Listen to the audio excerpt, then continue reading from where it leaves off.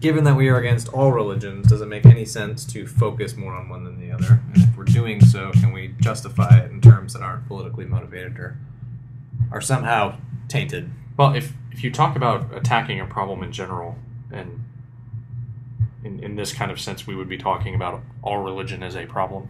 Yes. Uh, it, that seems to be a straw man argument that people that are trying to argue against you, not just in terms of religion, but they're like, um, when the gun debate came up, they were like, well, why are we why are we pointing fingers at gun control? Shouldn't we be talking about mental health? Shouldn't we be talking about uh, video games? Shouldn't we be talking about movies and Hollywood and the glorification of vi- violence and the United States versus other countries? And Yeah. um, it seems pretty obvious to me that um, anyone that wants to solve a problem obviously wants to consider all possible solutions. Um, but like you have to prioritize. Like Yeah. you can't. Well, no one person can't can solve a big problem, um, but even a, a large group of people usually can't solve, um, especially a a giant ideological problem like um, you know violence in the minds of youth or something or Yeah. Religion um, Yeah, these without without some prior prioritizing like what we should attack first. So in the Yeah. gun control debate, it was um, most people that are advocates for gun control are like, well, we need to do this first to try to potentially cause less deaths, and then research the other stuff for fewer, fewer fewer deaths. You're a good man. um, My but, uh, biggest grammatical pet peeve: uh, uh, less and fewer. It's So- not ten items or less; it's, It's ten, 10 items or fewer. Oh God, I hate so many, so many grocery stores for that reason. It's Um, cool though. Publix gets it right. Evidently, yeah. One day they'll too probably cave, cave to the plebeian masses. Well, that that's how English language works, or it seems to be, is that if if something gets used long enough, it becomes the norm. Well, it's language. It's not like Yeah. there's there's there's no golden rule book that says it has to be this way. Yeah. It just has evolved this way. Yeah. That doesn't mean in the meantime you can't get a little irritated. well, and your irritation is trying to attack the problem. The problem being that people misuse. Well, most people don't use the word fewer at all. Which is sad. Like you for, you forget it exists, or it's almost one of those words that, depending on the context, sounds wrong. Like it sounds like a made up word, like funner. That's funner. That's fewer. Um, now, gra- it sounds okay to me. Well, if I'm you just, say anything with that accent, though, to be fair, it sounds stupid. Yeah. That's fewer. but um, Anyway, again attacking a problem um, like religion um, get us back on track. Here was this is us merging back into our previous. it's the same you know i don't most atheists don't focus on you know the the corner cases of religion or the religions that well, basically you can just toss out. So like cults. Everyone except cultists thinks that cults are just yeah, obviously they're bad. Just get rid of cults. So okay, get rid of those. And then I mean, if you're if you're talking about numbers, like Christianity number one, it's got I think two point two somewhere in there billion. Islam I think has one point three to one point five billion. Hinduism's eight hundred to nine hundred million. Like okay, that's two thirds of humanity taken care of with just those religions. So if you're just going by sheer pragmatism, you know, you're going to focus on like the big four. Uh, and I would say, especially for us, like we have no influence on what Hindus do because most Hindus live on the other side of the world. We are certainly not big enough stars to well there, affect yeah so, it's, their. so there's a language a language a location barrier a culture Culture. barrier yeah like, I don't know enough to even speak to it other than the basic tenets, which I think are wrong. Like, I don't know, gods exist. But in our world, there are two major monotheistic religions. And yes, I'm going to ignore Judaism because it is a tiny religion. I think it's got 15 million adherents in the U.S. Maybe. according to this this is 2005 though it's 0.22 percent of the world Yeah. Uh, it's a smaller, just to give you a, you know, give you an idea of size. There are more Sikhs in the world, or um, twelve times as many Buddhists, I don't or know. Apparently, it's about 14 million. Oh, really? Yeah, Okay. six million in Israel, five point four million in the U.S., about five hundred thousand in France, and that's down from there really quickly.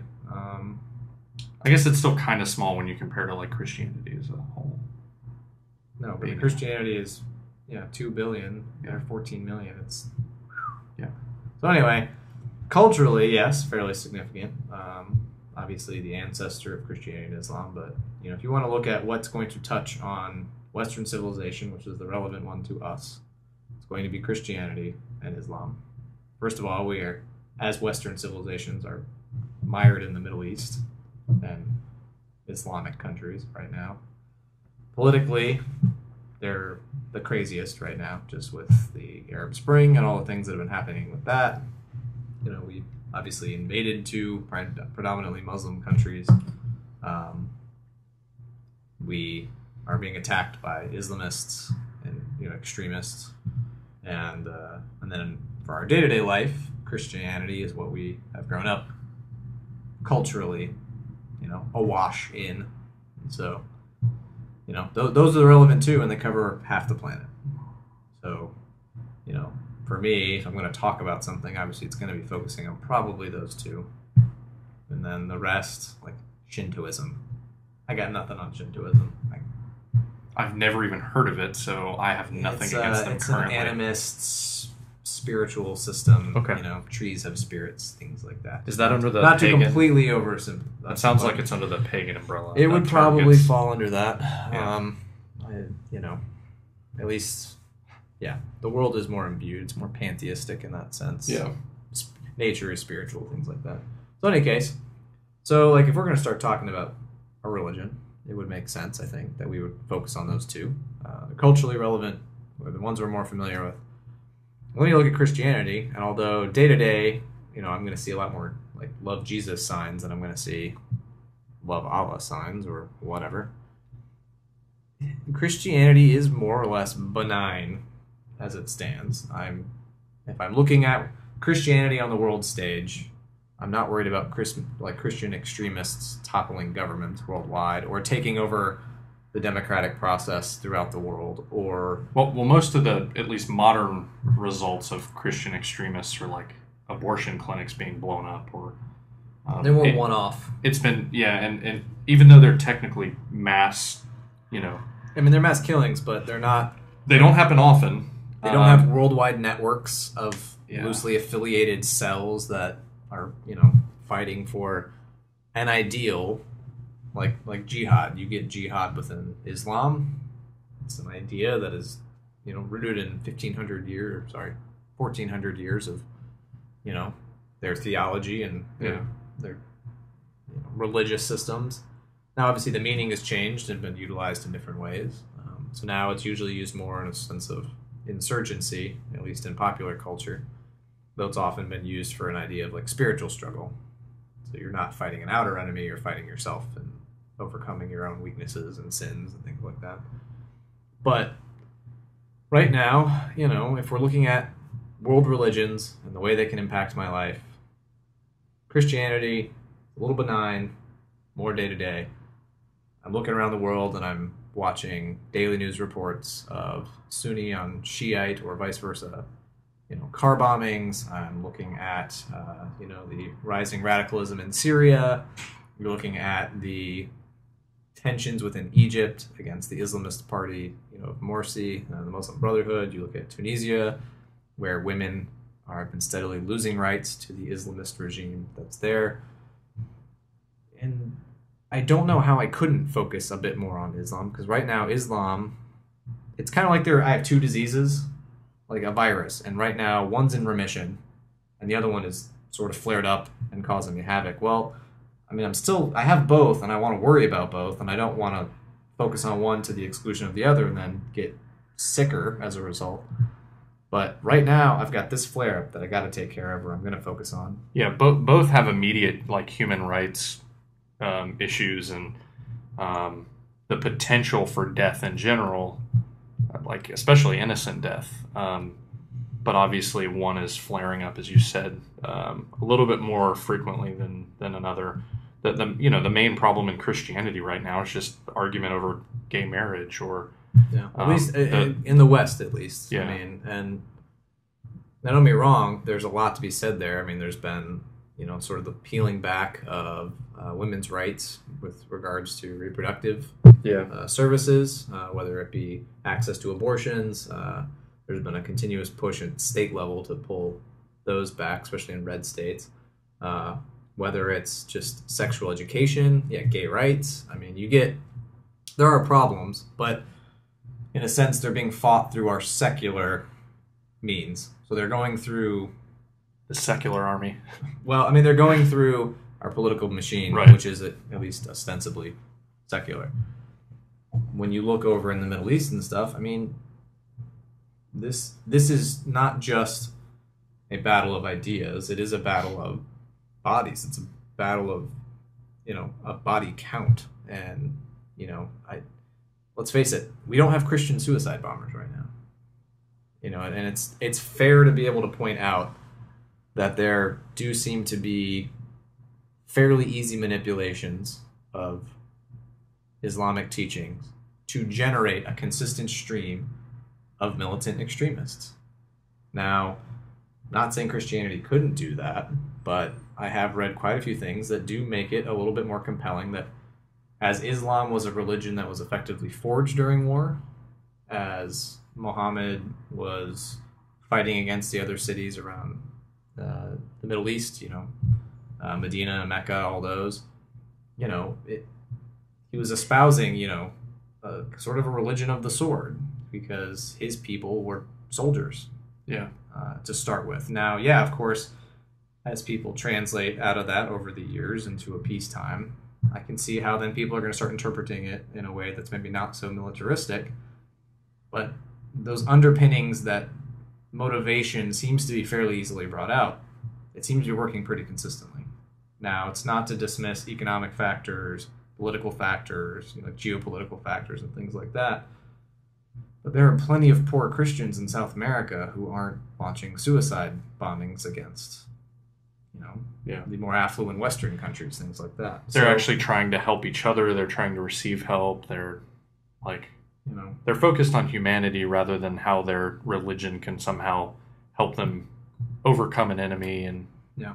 Well, and the idea is like uh, this is not saying that all Muslims are inherently extremist or that Islam itself must be interpreted this way or should be interpreted this way. But the fact that it seems to be fairly easily interpreted this way seems problematic.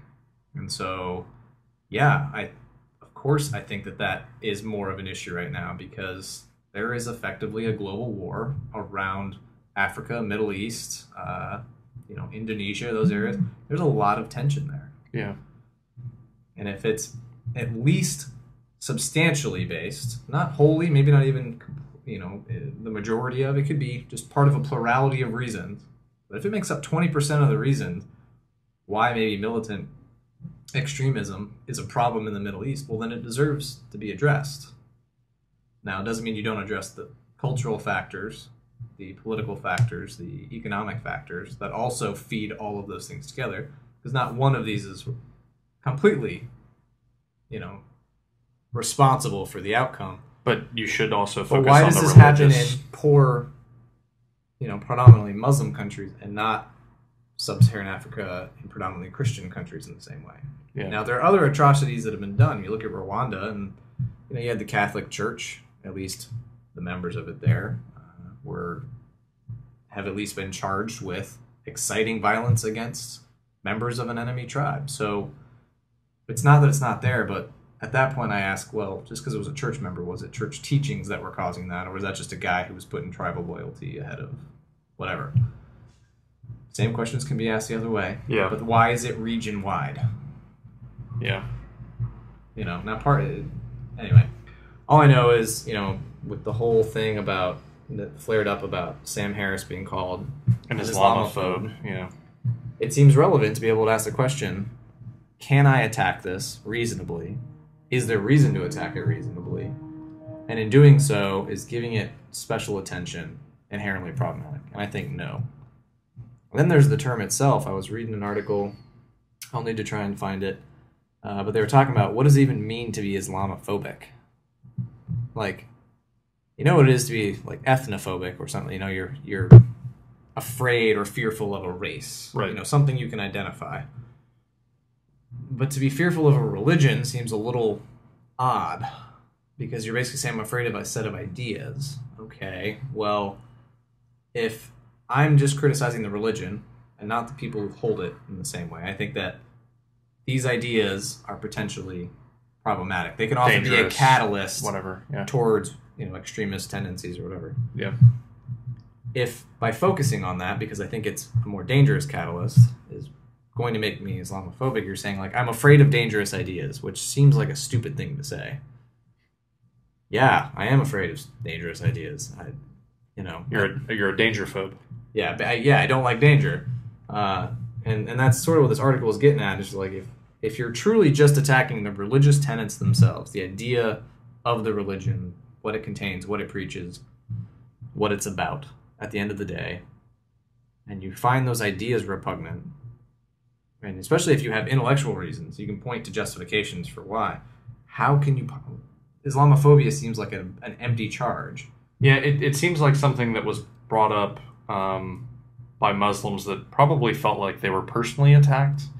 Um, and, and I understand that. We in conversations with Christians, we get it all the time. It's like anytime I try to point something out about their religion that I disagree with or whatever, they feel like they're personally attacked. But Well, see, these mu- are beliefs that if if they're truly held, you know, and they it- live them, and, and they live them, and all, of course, it's an attack on that person. You're you're questioning the intellectual integrity of the person who holds this belief. So of course they will take it personally. I get that.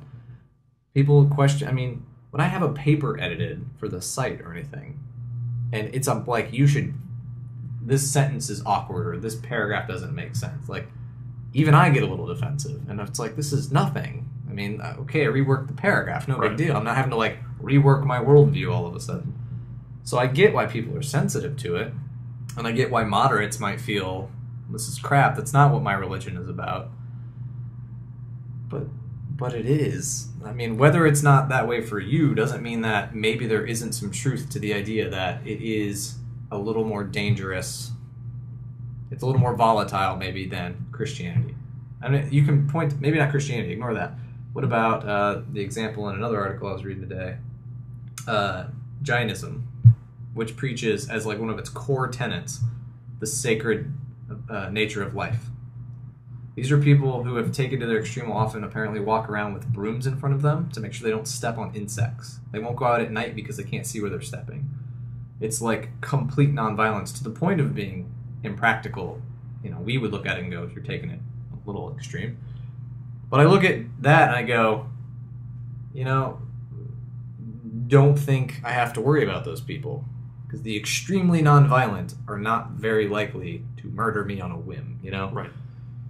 Well, but if you've got a culture of holy war or something like this that weaves its way through your your mythos, uh, yeah, it seems like you can be catalyzed towards violent acts more easily than the guy who's dedicated to nonviolence. So if we can point out that there's an objective difference between these two and the people who live those lives, then I at least have a basis for saying maybe there is a reason I should look at this religion. Maybe there's a reason we should all look at this. And if you disagree, then maybe you should help me. Well, if it- that's not what your religion is about. it seems like without knowing or doing a ton of research, but it seems like the term Islamophobe or Islamophobia came up to almost say like the discussion shouldn't be even on the table. Like it, it's this whole thing that Well, it's obviously, racist. obviously uh, you and I disagree with. Like the fact that it's the people that say you shouldn't be able to criticize religion No. and that's ridiculous. Um, not only do we live in a free society here I will criticize whatever I in the United. States of America, I mean, we this this country was specifically founded um, with you know rules and stuff or the allowance that we can criticize our government and not be executed for it. Yep. Um, the, the like political cartoons are huge in this country, and some countries that just wouldn't even fly. Like you would be arrested or How about the guy, or- uh, the Jon Stewart of Egypt? I Yeah. cannot remember his name, but you Yeah. know, basically get in trouble for criticizing Morsi. Then in probably way nicer terms than Jon Stewart gets away with criticizing, Yeah. especially like Bush. If you want to go back to the hey, Yeah, yeah, those days. Um, and, and we First of all, so we will criticize whatever we damn well please. And you can judge me based on my arguments and my criticisms. You can't just shut me down by saying, well, you're just an Islamophobe. Well, no, no, no, whoa. First of all, what does that mean? I'm afraid of Islam? Well, okay, maybe there's something there. What do you mean by that? Do you mean Yeah. I think certain tenets are a little dangerous because of how people tend to interpret them? if they're if they're trying to it seems like it's a it's one of those tactics or one of those terms that gets thrown around like racist to say if you get called an islamophobe and you don't challenge it that means you hate all muslims and Well, obviously that is not, the biggest problem. Is the Yeah. idea that using Islamophobe as a term for basic Muslim phobe. Yeah. Those are two completely different things. Islam as an idea set in a vacuum based on the texts themselves, having maybe never been believed by another human being, could be interpreted as such. Yeah. How could you ever charge me with racism, racism at that point? But really, what you're saying, I think, by Islamophobe is Muslim phobe yeah in which case you're trying to say, I'm afraid of medium brown skinned people. And that's where you're trying to skew the argument away from the religion and towards the people because no one will defend a racist. Well, most people won't defend a racist. But there could be damn good reason to actually investigate the religion. And so I think that's where you kind of have to be like, whoa, if we're talking about the religion itself, the ideas on paper, Yeah. as people believe them, as objective fact, as people believe them. How you can call me an Islamophobe, I don't know. What you're really trying to say is, I'm a racist, basically. I'm afraid of the other people who don't look like me and believe It's that, uh, things. it, it's an argumentative fallacy that gets thrown around it's like if you if you don't want to take the time or the effort or at least um, the cojones to step back and take an overall view at an argument Yeah. you try to destroy that person's um, what's the right word you try to destroy that person's public character like the view of Uh, that straw person man. Yeah. Well, no, no, that's it, it's like if straw man is usually where you're setting up a weak version of your opponents. It's Uh, it's like if you told me, um, you know, you think um, you think abortion should be legal for these reasons. Oh, you're And I'd be like- attacks ad Yeah, attacks. ad hominem. attacking the person, I couldn't think of the attacking the man, not the argument. Um, and, and this is, to be honest, that's all it seems like. This is, seems to be a term that came from those arguments Yeah. that people they just wanted to shut down the arguments and Yeah. made up a word. Well, you also get the problem, and this is where moderate religious people come into it, and where they go, well, you know, it's the no true Scotsman fallacy, where you get, well, no true Muslim would do that. Well, okay, if you're just going to define the Muslims out of Muslimhood, just basically ad hoc, like, oh, they did a violent act, so they weren't really a Muslim. Well, I don't know if you get to make that call. I mean, you're You're not the pope of the Muslim world. yeah, you're not the imam that's gonna like dictate all this stuff. And I'm not saying And that, and I'm not saying the pope can speak for all Christians either. I wasn't going that far, but um, there would be quite a few people who would disagree with that. yeah. Um, but you know, it's the problem of looking at a group of people, the majority of whom are peaceful. I don't doubt that. I, I'm not arguing that, but that doesn't mean that you can't say that what most of you believe peacefully is more easily misconstrued in a dangerous manner. And to be fair, you're a little implicit because you don't seem to extremely strongly call that out in your own culture. You know, it, seems like a lot of people, if they don't overtly endorse it, maybe sympathize with it. And again, that, that can go back to cultural and economic and political reasons. But it all blends together, and at some point, I get to say, well, ignoring everything else, ignoring all of those factors about who did it, blah, blah, is the idea that helped to drive them there more dangerous than others? Yeah. The answer to that is yes, and I think there are plenty of ways to look at the text and say how is it how is it often taught, preached, interpreted. The answer is yes. Then I have every right to look at you and say then you deserve a little bit more attention right now than the other guy. He's not blowing me up. That seems reasonable to me. I would agree. Anyway, probably a good place to stop. Yep. Well, um, that's all we had for this week. And again, our overall message is that um, terms like this shouldn't be thrown around just to try to shoo away the discussion. We feel like um, discussion about many things should be had, and uh, religion is not beyond criticism. I think everything should be up for discussion. Yeah. So don't try and call me a racist and expect me to just roll over as a result. Anyway, um, until next week, uh, see. A new article we've posted this last Friday. Maybe a more casual one if you haven't already read it. Um, mainly because I'm a little burnt out on the essay format right now. So I'm going to actually try and do like a blog post. Yeah. Which I don't do well. And uh, if you happen to be into Magic the Gathering, um, I had some articles up about um, the spoilers of the cards that have been released. Um, Michael and I did a part, uh, a two-part um, set review going over all the cards that were released in this latest expansion called Dragon's Maze. Um, and I did a small blurb, blog post, whatever you want to call it, um, about kind of just my experience over the weekend and, and what I think. So Yeah. Because we're Um, not just atheists, we're nerds. we have many hobbies, if you want to call atheism a hobby. Uh, no, I don't. But magic certainly is. So anyway, uh, enjoy that. We'll probably be quieting down on the magic for a little while. So hopefully I'll get back into the groove. I know we skipped a podcast and all that, but if you're here for the atheism and not the magic, keep checking back on Mondays. We're gonna try and keep them popping out then. Yep. Um, maybe some small blog posts midweek and then articles on Friday. So follow us on the Twitters, the Google Pluses, not the Facebooks because we hate it. Um, YouTube. YouTube, yes. Subscribe to our channel because it's amazing. You get to see this all day, every day. but uh, thanks for watching. Yep. See you next time.